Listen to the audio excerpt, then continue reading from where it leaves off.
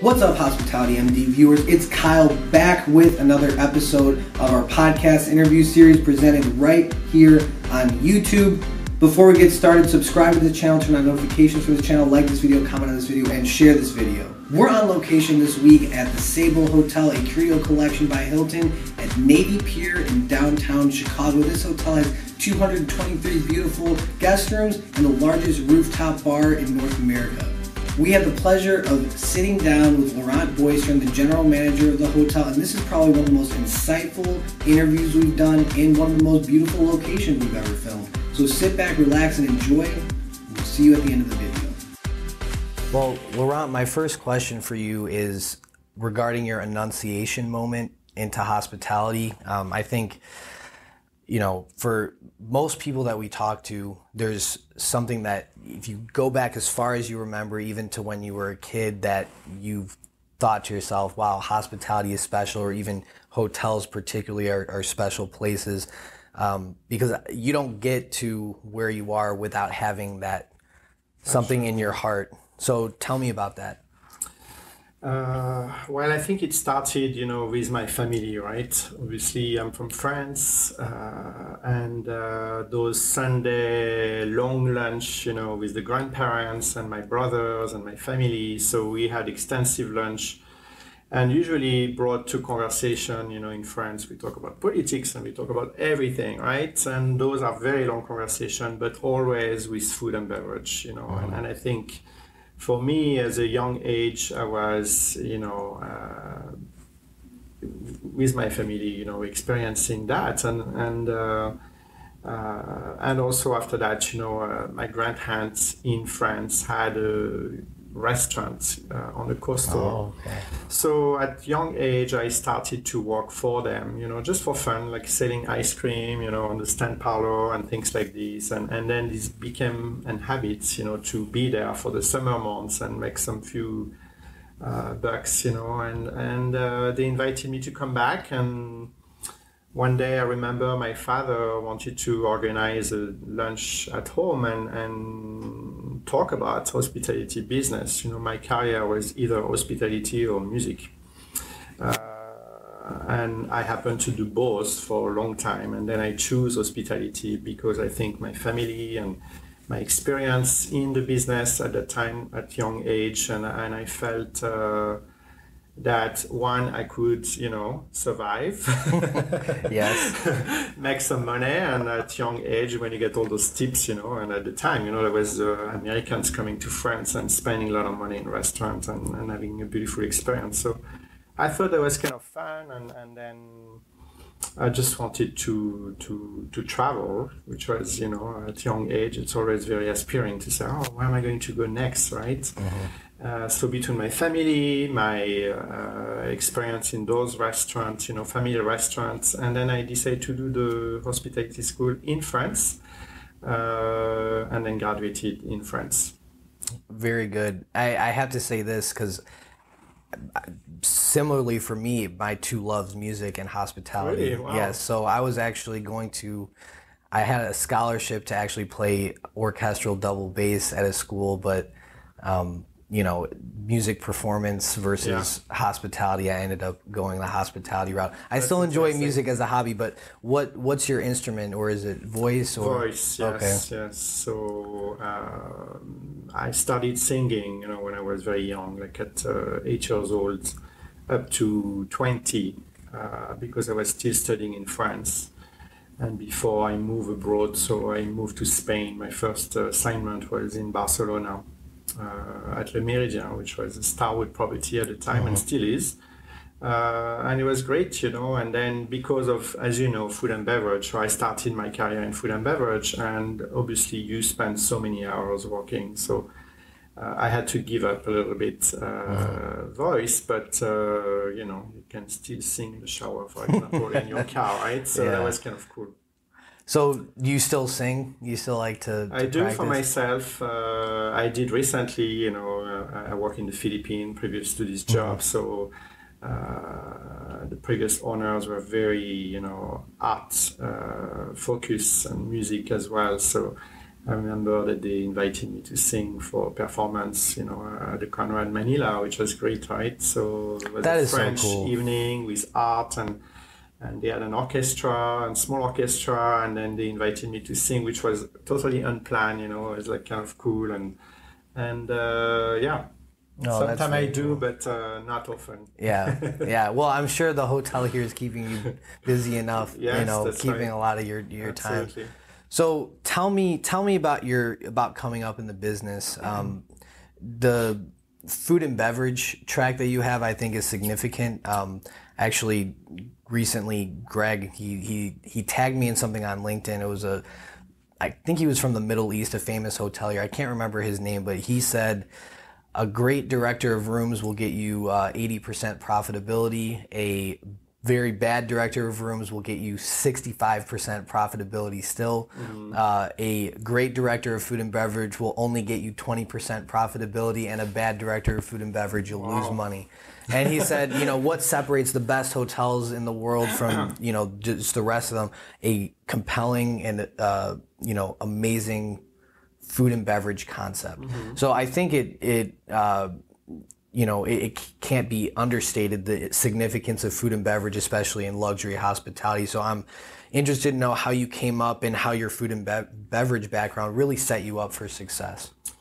Yeah, I think uh, so. All those ratios, you know, uh, obviously we can discuss, but I think food and beverage for me is a differentiator. Uh, I work in different continents and, and countries and hotels, and, and usually large food and beverage operation, which I kind of enjoy because you can be creative, right? And you can come up with uh, ideas and, and really add value to the hotel. A room is a room, not like this one. This one is amazing, right? It's Yes. the view and everything, and look at that view uh, being in Chicago. But some are more cookie cutter hotels, and, and I think you know the added value is F&B can be you know creating events, uh, play with the space. You know what is your offering in food and beverage, in breakfast, lunch, and dinner, the bar. You know, I mean, there's so many things you can add and change.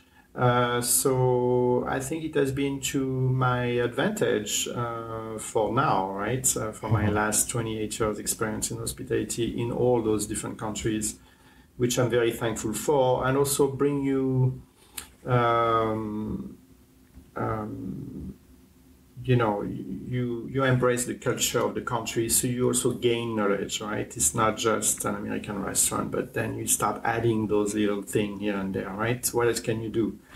So if you work for a French company or in Asia or an American company, it will be a different thinking of food and beverage. Uh, but the room is the room. so I think uh, for me it has worked. Uh, That's really my background in operation, uh, and uh, through my career, I was able to advance through food and beverage till someone gave me the opportunity to be the hotel of operation, uh, which happened to be in Miami. So also big hotel with food and beverage, but then uh, in Chicago I was trained to work in rooms as well. So all combined made me, you know, to try and uh, been successful since because I think it's beyond that. You know, it's really hiring the right people in the right position, uh, being creative. We talked about that, agile. Uh, there is so many components, right? And as you know, as a general manager, you have to manage different expectations with the employees, but also the guests, the management company, right, uh, and the owners.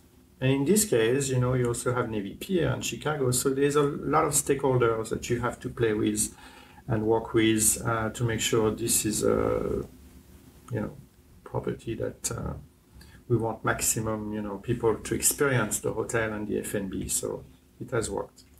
So you bring up a great point in that general manager role. I mean, it's and it's hard because I mean I experience this myself. Very, uh, it, it's hard to prepare yourself for uh, for what you'll experience when you are the one who's kind of that point of contact for all the stakeholders. I mean, uh, for I guess sake of, of generality, we'll say we have the team of the hotel, the guests of the hotel, and we have the owners and corporate office. We can put them into one. Um, how do you uh, how do you prioritize those um, juggling priorities and relationships and um, you know do you have any advice for anybody who uh, may be struggling with that or even as they prepare to take something like that on how, how do you approach that yeah so i think when you you get your first general manager job or second or third you know you still think you're not prepared fully right because it's the unknown uh, obviously, if you work like I did in different countries and in different ownership group brands, uh, you tend to be more agile and I would say comes with experience. So coming here back to Chicago, obviously totally new as well, right? And I would say even more complex because we do have a management uh, company and ownership group uh, so you really have to embrace it, you know, and you have to, to take care of it uh, all at the same time. You can't just differentiate employees, guests, and owners and brand because it would be like. So you prioritize, but on the same time, you have to tackle every stakeholder uh, at once. Right, because I mean, you could. I, I think and you probably experience this as well when you're not a GM mm-hmm. uh, and you're an employee of the hotel, even if you're in a middle management position, mm-hmm. you can sometimes, you know, say to yourself, I know I have, you know, if I were the GM, I would have made a different call or, um, right. or, or something like that where you, where you feel like maybe the, the GM isn't doing things the way you would mm-hmm. personally do it. But then it's not until you realize the pressure coming from the other side or the expectations yeah. from the other side that you think, well, maybe you know that was the best decision that could have been mm-hmm. made for everybody. Um, so I think you know first you have to stay calm, right, and, yes. and strategize and prioritize. And I think in hotels, like any other business, there is a set of KPIs, right, that you have to achieve, obviously, and and internally uh, educate the employees on how to achieve and, and what is the goal, right? So uh, I like to have a roadmap, you know, and where I'm going. So this is a pre-opening hotel, which is totally different than taking over uh, an existing hotel. So in this case, it's very clear, right? And the first general manager, so we set the tone for the future, and uh, there is some KPI that needs to be achieved. Can be related to employees, obviously, but customers, and you know, like we discussed, uh, profitability earlier, and and uh, ownership relationship, uh, same as the management company. So uh, if you have that kind of thinking for each box, let's say, and you focus on those, you should be successful with the right people surrounding you in the hotel. So you've you've said this now a couple times. I think mm-hmm. you, you really are emphasizing the team that you build mm-hmm. and the people that you surround yourself with. So tell me about that significance to you. I, I, think it'd also be important, you know, if you're building a world class team, um, and maybe somebody listening is wanting to build a world class team of their own. What advice do you have for them? What do you look for when you're when you're interviewing, hiring, recruiting? Tell us about your team building philosophy and your management style. So I think you want a diverse team, which is very important to me. A good mix of people, uh, different horizon, different brands. Obviously, you know we are a Hilton brand, so we would prefer Hilton employees because they are trained, you know, with the systems and know a bit of the culture, especially if you work for Curio Collection, which is a sub brand, right? But uh, we also look at the attitude, right? We also look at the profile of each individual, and, and we, we I want to make sure that the person who is interviewing really wants to be here, uh-huh. especially now with the pandemic. Some people are applying and jumping on opportunities, but not necessarily want to be here, or they just want to be here three months and then they go back to their previous job, or they have another thinking, you know, afterwards. So we are careful with that. Um, also using your influence, right? Uh, I think through LinkedIn, through social media platform, through conversation like this, uh, looking at who could be a good fit for this hotel, uh-huh. uh, which has been successful for me in my case because I work in different hotels in Chicago, so I already have a network of people that had joined me pre-opening, and then those people, the leadership team, is also looking for their own team, right? So it starts at the top and really uh, each one of them look for their own departments, you know, and, and we all help each other to look for the talents. So it has been um, a bit difficult, for example, for the housekeeping department for this hotel since Sure. we opened in March, which uh, again was pandemic and still is pandemic. But we were able to find through different director of housekeeping and you know hotel managers, um, contacts, you know, personal contacts, and and uh, and I think a lot of people want to work here. it's such a beautiful hotel, such a great location, such a great team to be with and learn from. So uh, we have not been too much in a short, you know, short staff uh, experience yet. We have been steadily growing our numbers. You know, we are very cautious on who we hired and how many we hired when we opened the hotel.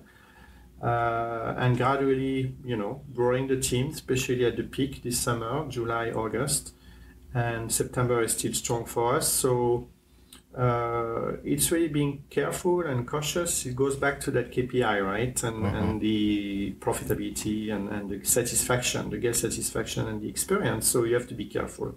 You just, I, I would love to have 100 employees at the hotel, right? But the reality is you can't.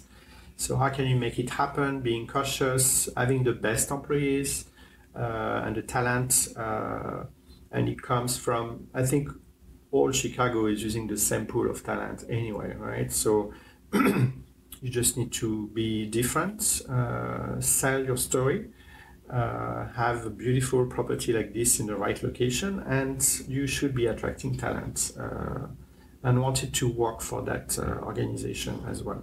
Yeah, I think it's significant what you said, you know, that uh, particularly in housekeeping, for example, which has become a massive pain point for everybody, um, that you haven't felt the same strain that a lot of other hotels, even within the same market here in Chicago, have been feeling in terms of lack of staff or quality of staff.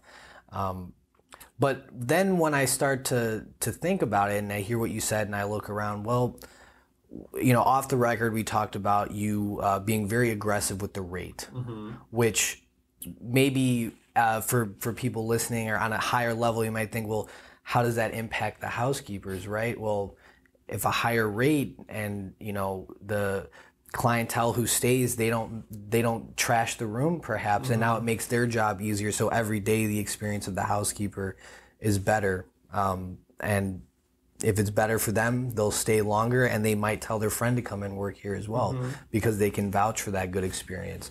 Uh, if you have a great preventative maintenance program in the hotel as well and they know that the rooms are going to be in great condition um, and that means that it's going to be easier for them to clean, then that's another great experience that adds up to the value of the housekeeper.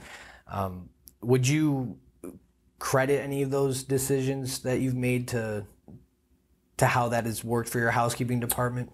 Uh, I think you know when we opened the hotel, it was very difficult. Obviously, we had no Sure. visibility, and the pier was closed at the time in March uh, 2020. so we decided to do that soft opening March 18. We opened March 18, and we started with single-digit occupancy. But what made us hope was our weekend, our strong, you know, weekend, Friday, Saturday, Sunday here. And the reality is, and at the time we had not enough housekeepers. You know, I was with my team working together to make beds till 11:30 p.m. on Saturday, and we did it for like two months, two three months, consistently every weekend. We knew we didn't have enough housekeepers to work here, and I guess the word spread out. You know, uh, people want to work here because you also work with them. You know, you you you lead by example. You so suddenly we the team started to grow, and you know, room attendants uh, tell their the other room attendant from other hotel, and they came here. And I have to say, it's a very busy hotel here. So for them to stay is also, you know, like Now that's the you, you significant would part. decide to maybe go or try another hotel, Yeah. right? In this case, I decided to stay because I think we have a good team. Again, the leadership team is helping them. You know, we have a good uh, process, and it's not an easy property in the sense that we have three bays, three towers, right? It's not a single tower with 223 rooms, it's three. So the logistic is defi- definitely more difficult than any other property I would have worked before, right? But with that team spirit and everybody working together and really, you know, working together, especially heavy weekend, Saturday, Sunday, uh, everybody is here working. Uh, so, you know, we are not afraid to help them and be highly visible, you know, to, so really by example, not only me, but the team, you know, the hotel manager, the f- director of guest services, the director of housekeeping, everybody's on the floor on weekend to make sure that the guest has the best experience and, and you know, maintaining our high standards with the room attendant and the houseman to, to make sure that they do the best with providing them with the tools, very important, right? Uh, we don't have a laundry here, so we outsource, right? right? And and which, for those listening, I will say this is not uncommon in the Correct. city of Chicago. So just for anybody who might be thinking, what they don't have a laundry facility, right. very, very, very commonplace here in the city. Um, I don't know if I've I've only worked at one hotel in this city that has had on-site laundry. Mm-hmm. Anyway, just a side note for the listeners. Go ahead. I used to work at uh, a hotel in uh, O'Hare who had a laundry facility. Mm-hmm. So uh, in this case, we don't have. So we outsource everything, which is another challenge. You know, we we talk about uh, short staff, but there are also short staff, which create uh, stress for the hotel, but for the ladies specifically, right? To make the room on time, for example. And for the guests to get their room on time, our check-in time is 4 p.m. So we want to make sure that, and we do it, you know, now we have it uh, ready by 4 o'clock. Uh, but at the beginning, it has been a challenge, you know uh, well, if you don't have clean linen, you can't have clean rooms. Right. It's or a... we would have clean linen, but not enough, mm-hmm. or the delivery would be scheduled or postponed to the evening instead of the afternoon. So all that you have to anticipate, you know, to the best of your ability and, and make sure the ladies understand. So for me, transparency is key, you know, when you have the morning meeting and you tell them up front. So they are not disappointed to hear, you know, at 4 p.m. when they're supposed to leave at 5 that, oh, the linen will be coming later and they are basically waiting uh, and stuck, you know, in, in, their mind with that. So we are very transparent. Mm-hmm. We communicate uh, with them, not only housekeeping, but all the departments in the morning meeting. And in transparency and communication, I think, is very important. So, um, when I think of a luxury general manager, mm-hmm. I think of somebody who's in an ivory tower somewhere who's mm-hmm. who maybe I, I don't see them you know if i'm an employee of the hotel maybe they don't speak to guests very often um, that, that's what that's what comes to my mind right uh, what i'm finding in our conversation is that you don't seem to be that type of general manager in in your style it mm-hmm. sounds like you're present at meetings mm-hmm. uh, with the staff i mean you're here on the weekends which is significant mm-hmm. in and of itself, let alone here on the weekends, making beds and participating in the daily operations to provide the best experience. Um, and obviously, as you mentioned, that's trickling down to the executive committee and then to the um, the rest of the team. Um, is this something that you've always done? Because I and we didn't really get too much into it, but you've worked in five star uh, properties internationally. I mean, uh, you mentioned Manila, Conrad Manila, right? Which um, probably had more rooms than this, so bigger hotels. Is is this unique to this property in the way that you've adjusted your style, or has this been consistent for you regardless of the location or size of the property? No, it has been consistent to me, and I think because of my background in food and beverage, I usually tend to be here, you know, Friday, Saturday for events, uh, weddings, or anything, right? Anything big, and um, you know, I in this hotel our peak night is usually Friday, Saturday. So why the general manager will not be here, right, when it's busy? and it's a good point. Some people say, "Oh, you're working on the weekend." Well, I'm actually enjoying working on weekend because this is where you can see, you know, the fruit of your labor, right? To be sell out consistently on a Friday night, on a Saturday night, sometime on Sunday, like last weekend. Uh, it tells a lot from the team, right? To really do all that. Uh, so I think, um, yeah, it's my philosophy that you have to be here on weekends uh, as a general manager because you want to be with the team and and celebrate the successes, but also really participate and, and help them achieving uh, those successes. So maybe not every weekend. It has been more like this, but. Mm-hmm. Uh, I think it's important to be here when the business demands to, to be at the hotel which is very um, it, it it's it makes sense. It, it's the it's the it's the most common sense answer. If you are running a hotel, Correct. you are there when the hotel right. needs to be run at its most efficient uh, and at its most satisfactory for the guests. And um, same with the leadership team. You know, when we do scheduling, we always look to make sure there is enough coverage in management to support the team, obviously, right? Uh, and even if it's a small team, we're not a big team, but we have enough to make sure that uh, the guest is taken care of. And even psychologically for the team, if you are not here when it's busy and they have wins and they look around the room and they don't see you, maybe they don't think, oh, my GM's not here right now because most people are accepting. If you were to never work a weekend, I don't think anybody would say right. he never works a weekend because that's the expectation. Mm-hmm. But again, psychologically, they look around the room, they don't see you, then they associate these wins as being independent of you. On the contrary, if they look around and they see these wins and you're right there beside them, um, or you played a role in it, now it's it's uh, I think it strengthens the fabric of the team. Um, and now they associate winning with you and with your leadership and your contributions. Yeah, and even this weekend, you know, Labor Day weekend. So, uh, and every weekend, not only this particular weekend, but the success of this weekend is we had three sellouts in a row, right?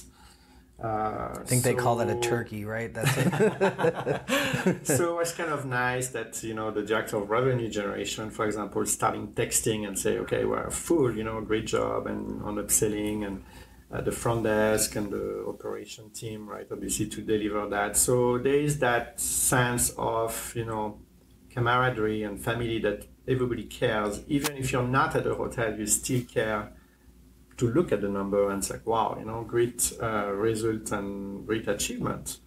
So I think that's important that the team think like this. Uh, they all take ownership, you know, of their responsibility and, and functionality of the hotel and at the end you know all those people make it happen and this is the success of the hotel that's a highly engaged team mm-hmm. right there especially like you said if they're not at the hotel but even looking at that and then even like you said labor day weekend this is when most people would be kicking back by the pool right not even thinking about work but it's everybody cares absolutely that there's a success here mm-hmm. for everybody and that the guests are happy. So one of the major objections I think as as we talk about the general manager working on the weekends and being here in the off hours, one of the objections that that may be common from a GM who is resistant to that, um, it goes back a little bit to those juggling of the priorities. They might say, well, I need to be here Monday through Friday mm-hmm. because that's when the corporate office uh, is open, and that's when I, I need to be uh, able to be in touch with with the corporate office and the owners. If I'm there on the weekend at 11:30 making beds, how are how's the corporate office going to get a hold of me? What do you say to that? Well, that's a good question because I was also, you know, asked to be on a call on a, I forget which day, uh, Wednesday or something, and and uh, I declined the call. I said, unfortunately, I will uh, be off on that day because I work on weekends, and I'm sure you will appreciate that I'm here when it's busy. And uh, it worked well. So they took it very well. You know, they, they were actually very thankful and postponed the call to another day, right? So I think if you explain and you are transparent, uh, and if you know it makes sense, you know, to you and your business, uh, I would encourage people to to do it. You know, uh, there's no reason why it would work for me and not others. So, and there's no science. You know, uh, another hotel I may choose to work Monday through Friday because mm-hmm. it's a mm-hmm. different setup, and we're not on EVP here when. Uh, right. The weekend right. are extremely busy here with the foot traffic and all. So I think it depends again, right? But uh, so far in my previous jobs and opportunities, I usually work uh, Friday definitely and Saturday. Mm-hmm. Uh, but it may vary, right? If it's a holiday or if it's uh, you know heavy checkout time, you know things like this. So there's business uh, that will prompt you to to choose uh, those particular days. So every week, you look at your forecast and you actually say to yourself, okay, when should I be here and when shouldn't I be here? And mm-hmm. you actually have that internal dialogue with yourself, and I'm sure probably with your team as well. Mm-hmm. Um, so I, I, guess it's it's. And of course, you you know the pattern by now. Like we said, the weekend right, is busy, exactly. so you, you pretty much know. But I guess my my point is that you are open to a fluctuating schedule, just like the rest of the hotel team. Yes um, based on business needs, mm-hmm. which is which is very unique. Um, do you recognize that that's unique? It I'm is. sure you've been around a lot of uh, GMs. I also know a lot of general managers that do the same, you know, sure. and uh, but the majority most likely not. Uh, and what's important to me is that there is always management coverage for any situation that may happen, right? So if I'm not here, then there will be someone else here. Uh, there is always a liaison to make sure that uh, and when I'm off, I'm off, which is another thing, yeah. right? And I expect the same with my team. So I try not to send email when they are off. I try to resolve anything that comes my way if they are off in their department because they are off, right? So they're supposed to really uh, enjoy their time with their family or anything they may have to do uh, so the least pressure we can give them, so they really enjoy their two days off consecutively, which I think is important, mm-hmm. Uh, is best. So they come back refreshed, they come back excited, happy. They tell you the stories what they've done for the last two days, and I think uh, it has worked well so far. So small teams, small, you know, we can have those conversation case by case, and it has paid off uh, for for us, right? Uh, our personal life, but also when we are at work, we are much more uh, efficient and, and focus on, on what we need to deliver. I really, really, one of the, I think one of my favorite things you said so far is in regards to the email, not sending the emails while they're off. Try not to. Try not to. yes. Well, yeah. So we'll say most of the time that you, you, you don't, or at least you're conscious of right. it. And I think that's highly significant because I'm even guilty of this myself too. If I know that somebody's off, if, if they were there, I would have gone and spoken to them face to face because if I don't have to send an email, I won't. I'll just find them and I'll talk to them about this. Um, so it's most of the time is when they're off that I'm Yo, ready to send an email. yeah. But but what I don't think about so much, and I'm sure, and I know this because a lot of people have done this to me, sending me emails all the time, is when your email is on your phone and it's everywhere with you, you get that that notification right. and you you look at it or maybe you feel oh my gosh do i have to respond now or is there a certain expectation because the the lines are blurry because you're always you're attached to your work, especially when you're in an executive committee role or a management position, um, or even especially in middle management too, if it's texting or calling or emails, whatever. So the fact that you're uh, consciously making an effort to to not send emails if you can while somebody's off, I think is very emotionally intelligent of you. Um, because it's a valid concern for the industry. And when we talk about hiring uh, uh, crisis and what is it? Uh, it's not a wage issue so much so in my opinion. I mean, I think in some markets it is. You know, if you're in a, uh, a La Quinta off the highway in a right. rural, you know, countryside, yeah, it might be a wage issue, but it's a wage issue for the entire town, whatever your employee is. But in in if you know in in this hotel, paying probably close to 20 22 23 dollars an hour for an hourly associate um, and th- that's a great weight rage uh, for for somebody. So if there was a struggle to hire somebody and it's not in regards to pay, what could it be? Well, maybe it's because when they're off, they're always getting emails and they can't spend time with their family, or somebody's always calling them. So those little actions, I think, are hugely significant to um, just a, a long-term sustainable culture that will bring the hotel into its maturity. I think in a lot better. Absolutely. Mm-hmm. Um, so speaking of which, hotel is is young. It's new. Um, I guess it could be considered immature to a certain extent as it's in its early stages. Um, what are you doing and, and what insights can you provide to anybody who's in a pre-opening or a especially as this so many transactions with hotels taking place redevelopments rebrandings new positionings ownership and management company changes pre it's all kind of in the same vein of, of starting something fresh what advice do you have or, or um, sentiments do you have on getting off on the right foot and setting up for long-term success mm. So that's a very good question. So we, I was hired uh, in uh, July 2019, uh, right, to open uh, 2020. Sorry, to open November, right, 2020. Uh, so at the time, it was a very small team. Uh, myself, the director of revenue generation, and we had the CEO of, of the hotel, right? Uh, the three of us working together to come up with the plan, right, post opening, uh, which entail obviously, you know, FF&E and all the things that we, and, you know, rate strategy and, and understanding the Hilton words and how that works, and, you know, really immediately starting to look for business, right? So, the three of us, that's what we worked on, and we had a roadmap for that. Uh, and another team was working for food and beverage. Um, so uh, it's preparation, I think, right? The success of an opening is preparation, is having the right people. And because it was pandemic, it was definitely much more challenging because you we we were like three, four, five people pre-opening mm-hmm. instead of maybe twenty, right? Uh, so everybody had to do more in their plates, uh, but you had a fantastic view like this every day, right? To, to work with. it makes so it a lot nice. easier.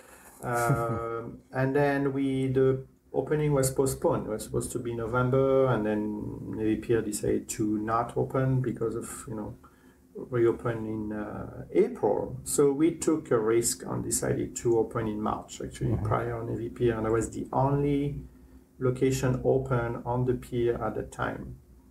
So we've decided to do a campaign, and I have a very strong marketing manager here, very creative, and we all work as a team and come up with those campaign and and and the campaign was we've got space, right? Obviously, we've got a lot of space on Navy Pier. It's closed and empty, and why don't you come and experience the pier when it, it is in that situation?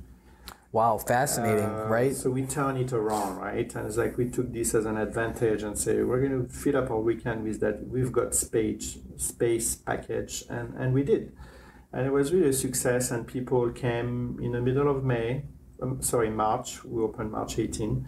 Uh, our second weekend uh, was very promising because we've started seeing people walking at the hotel just for that package, mm-hmm. which included room and F&B component and and uh, more, but and the roof rooftop was open also.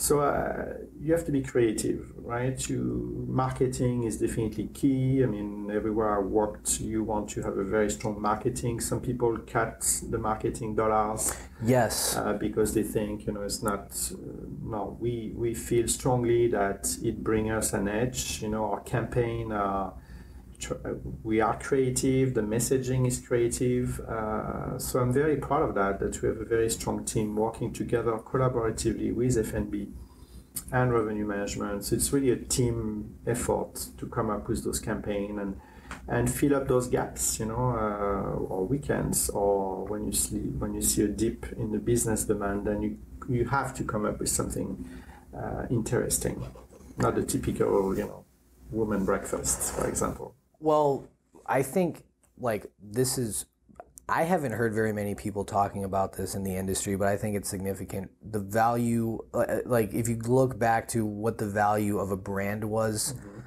30 years ago, you have an 800 number, you have a mm-hmm. website that they, they have for you. Well, it doesn't really matter so much anymore. Like that value necessarily of just having a website or having a phone number that people can call and make reservations. So when we talk about modern day hotel marketing, and you're right, a lot of people will cut those that those dollars out, or it's not a position that they feel is important, or the I've heard this so many times from owners is how do we how do we track the ROI on, on a marketing yes. person? It's so blurry. How can we how can we say what the ROI on this investment is? Um, what's what's your response to that? How would you uh, how would you persuade an owner to invest in marketing? Um, and and a follow up question that would be what in your opinion is the fundamental difference between we have a director of sales and we have a director of marketing? Because I think sometimes people might say, well, we don't need marketing, we have a director of sales. Right. So- Which is a different skill set, right? So in our property, we have a director of sales or business development, really looking uh, to to the business, right? Future bookings and hunting the business and, and having those groups coming into the hotel or any initiative to get more revenue in the hotel for the room side.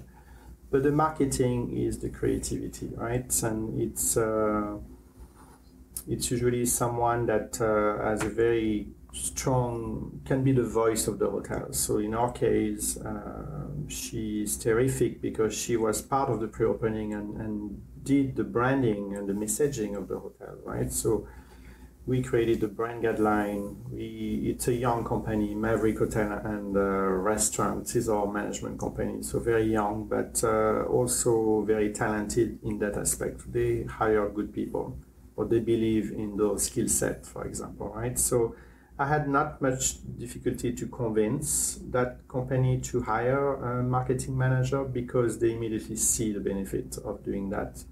So, So that was only- a initiative that you pushed for. Yes, Okay. I really pushed to have that position, and, and it happened that that person was also in front of me, and I'm like, well, maybe she should be working for us because she has such a good voice for the hotel and creativity sense, and and uh, very talented person as well. So all combined, you know, that position was in front of me, and that person was right there, right? So I was fortunate to have that.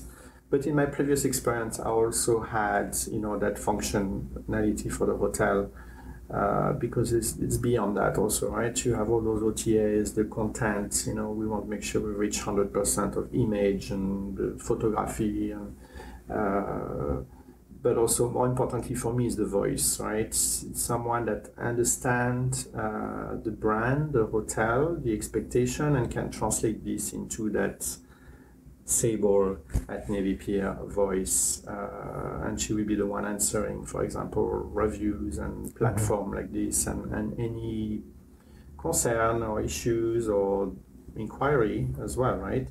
Uh, we also have our own vanity site, sablehotel.com. So this was also created pre-opening with uh, an outsourced company. But if you look at the website, it's so nicely designed, and you want to be here, right? So it has to be inspiring, uh, and that person, that functionality is definitely promoting that as well. And I've noticed as well in in the marketing, um, there was, I think you'll have to you'll have to correct me if I'm wrong here, but I recall two separate marketing campaigns, one for the guest and one for hiring. I think one was like uh, make waves at Navy Pier, Yes. and, and that was for the hiring, and then another one was like set sail at Navy Pier, perhaps, and that was for the guests who were coming in. And when I saw that, and this was before like I even cons- we we had even reached out for the interview, um, and I saw that and I said, wow, that's really I really consciously thought to myself, I I think that's smart and creative um, to have those two independent marketing campaigns, if you will, or or at least those taglines to attract the talent that you need to attract the guests that you want as well. Um, So credit to Getty's who help us pre-opening to, to come up with all that uh, brand guidelines, which is the messaging. And obviously now we use those tagline for hiring, for weddings, for you know inspiring customer to come here uh, at Sable and experience the hotel. Yeah, yeah, absolutely. Um, the food and beverage component here is significant as well, and it kind of leans into your background a little bit more. This hotel has the largest rooftop bar in the country, is it? hmm That's correct. Yes. So the rooftop bar offshore.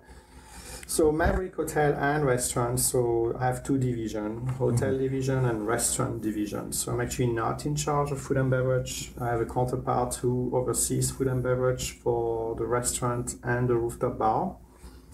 Uh, another project for Maverick. Uh, so, but we work together, collaborate. And it's the same company, Same company. it's just a different division and they want to make that distinction Yes. as a business choice that Yes. we operate these restaurants and food and beverage and Absolutely. we and they'll do catering and events uh, as well Mm-hmm. okay from the restaurant. So it's a different thinking of having in a traditional hotel that banquet uh, team and banquet chef, and you know, so Right. here it will be from the restaurant chef uh, catering to uh, the event space.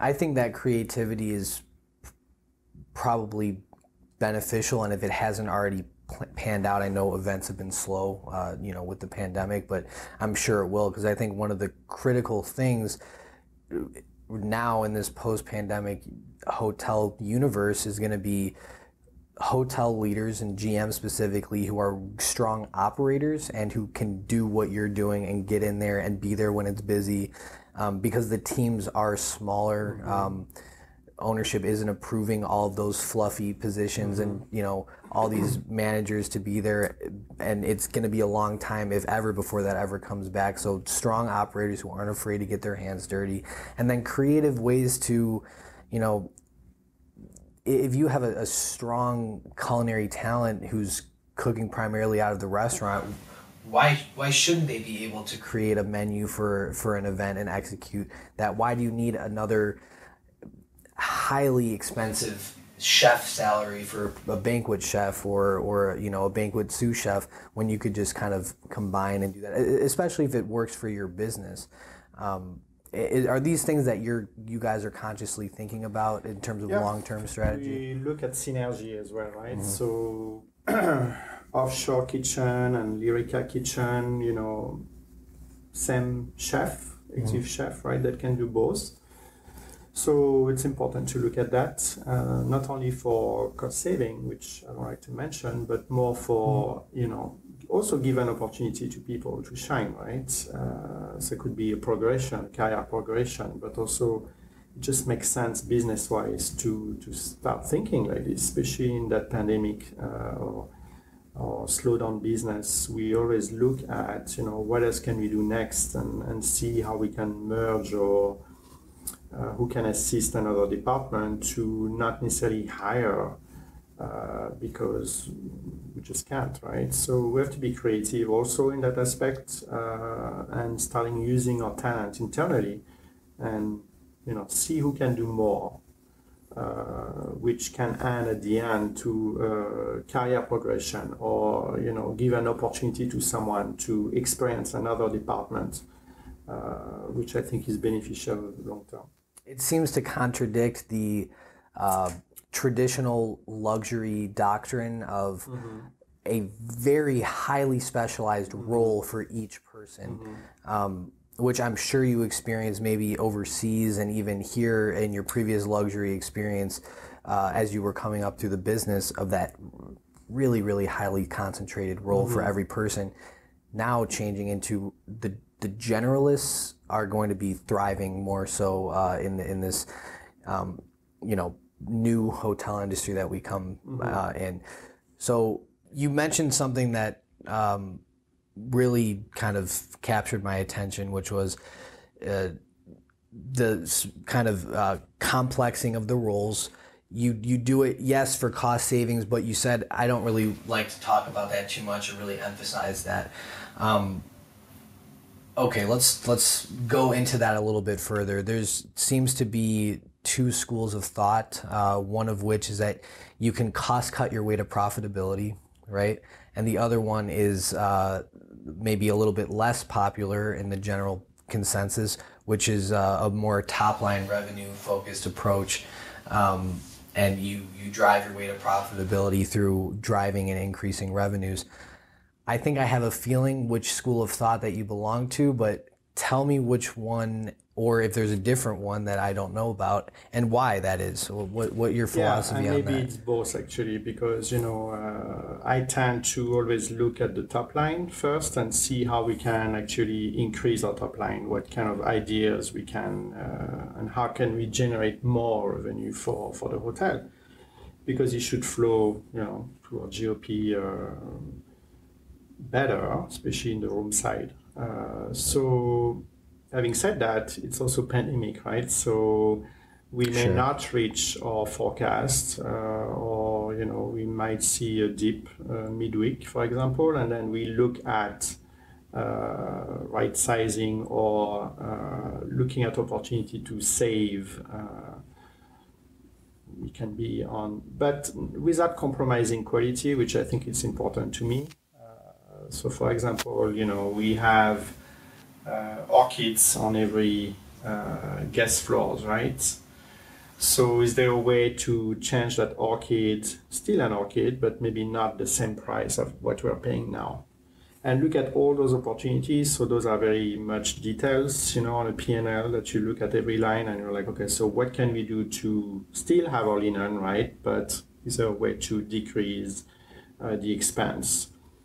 Or anything like this, right? So every department manager uh, is usually it's a conversation. They are tasked to look at that, or avoiding overtime, for example, when we you know you don't have uh, strong business on the books, for example. So uh, I think both are very important, but always look at the top line first. You know how we can get better, and, and even if our forecast is down, what else can I do to to beat the forecast?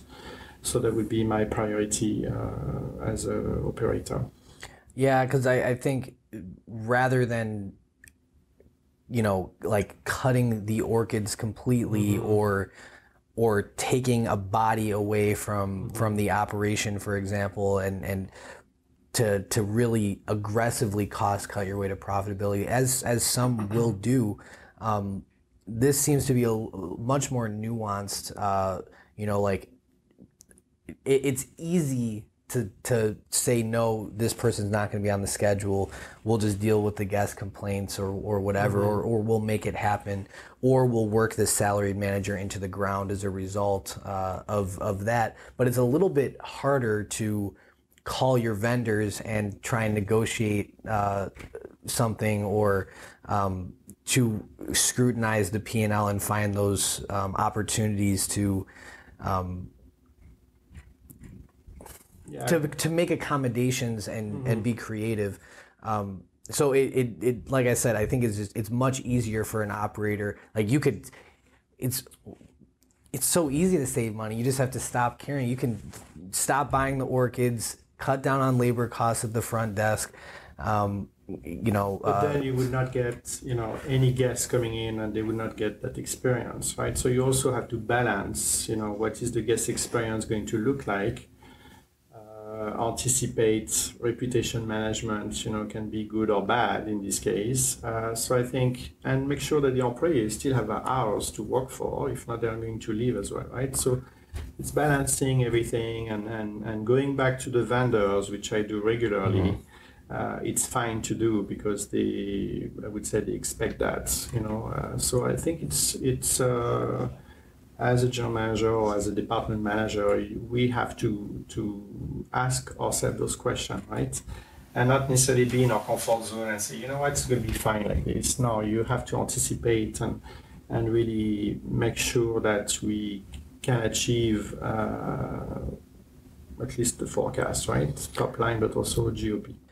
the way you approach that is the difference between short-term uh, short-term gains and long-term prosperity uh, and i think a lot of people get caught up in the short term if if we can only you know uh, make our numbers for this week look good Right, right. uh, then we'll be successful. And you find yourself sprinting from week to week where everybody's feeling anxiety about it. It deteriorates your culture. And then long term when you look back and you say what have we done up until this point? You don't have much to show for it except for again a culture that's full of anxiety and uh, results that are quite frankly mediocre. Yeah, you may have you may have hit those numbers, but if you haven't done your duty as a hotel uh, in the community, then what are we doing here, right? That's true. It's true. So we like to celebrate our early wins, you know, and uh, I like to brag a little bit about that with the team, you know, like we because uh, we have to excite everybody. You know, like you said, it's a difficult situation during the pandemic, and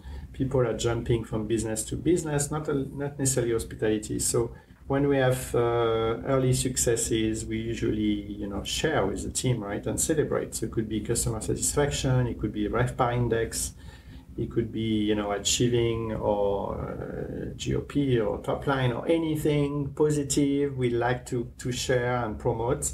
So they get more excited for the next uh, months or you know so and and that's also very positive you know to the team to hear uh, instead of talking about the pandemic and you know anything negative in the world right? So we promote positivity uh, at least we try uh, as much as we can Great. We we are kind of at our time here, but I want to uh, end by asking you what your biggest learning experience has been. Um, you know, you have so much experience in luxury hospitality. You've worked in plenty of hotels all over the world. Um, but this is your first time opening Sable at Navy Pier, and I'm sure you've learned a lot, especially during the worst ever crisis ever recorded in the hotel industry. What have been some of your biggest learning moments for you? Uh, yeah, you're right. You know, it's the first hotel on Pier for the last hundred years. So this is a significant project that was uh, our ownership group, Akron. Uh, they are based in Switzerland, but they also have an office in in uh, the United States. So it's a huge investment. You know, this is obviously beyond Sable. It's also for Navy Pier, the city. I mean, it's really enhancing the pier and getting more tourists, right? pre-COVID, mm-hmm. 9 million visitors a year on the pier. So obviously, that hotel is going to be, should be, uh, busy year round. Uh, so the challenge is to the seasonality, right? So obviously, uh, when the business uh, pick up, uh, we know that uh, summer it's a given, right? the, the, the peak season will be and continuously be busy, especially if the international travelers come back. Right. Chicago is known for that and conventions come back, which you know uh, it's a bit soft right now. So so it's playing with the seasonality of the the Chicago market. Uh, it's uh, adapting constantly with the you know the COVID measures, the restriction, the you know. Uh, and anticipate, right? You have to be very agile in, in, in the process and communicate. I think communication is very important. So to the owners, to the management company, which is Maverick Hotel and Restaurant, to the employees, what will happen, right? And our guests the best we can. So we have all sort of tactic uh, to to to to to share uh, those and. Uh, know, do the best you can. Uh, uh-huh. And you said I work in different countries in the world, which is true. So I'm very humbled by that because it's part of a lifestyle for me to be exposed to different culture and different countries and and uh, ownership group and, and and and also use all those experience to your advantage to really probe the right question and because working with asset management is also fun and it's also good because you're also learning, right? So you should not be afraid to ask uh, best practices from, from their side because they have portfolio of hotels. So I'm never afraid to ask, you know, so what would you do in this case or what insight do you have for us to be better, right? So you also turn a little bit this, the conversation and, and try to probe as much as you can and, and so for to make sure that hotel can actually succeed. Right. So putting your pride aside, and you know, instead of saying I know everything, I don't need Correct. any help. When you have experts, because the hotel industry has so many different, so like asset management is a great example mm-hmm. of that. Like, as a primarily an operator, mm-hmm. the asset management discipline is is certainly there's overlap, but very different. Um, mm-hmm. So I definitely, uh, you know, putting your pride aside to learn uh, is huge lifelong learning, never stop learning, right? Correct. Yeah. you never stop learning, you know, from everybody, which is uh, very important every day. Okay, well, good. Laurent, thank you so much. Thank you very much. Appreciate it. It was great to talk to you. Thank Certainly. you.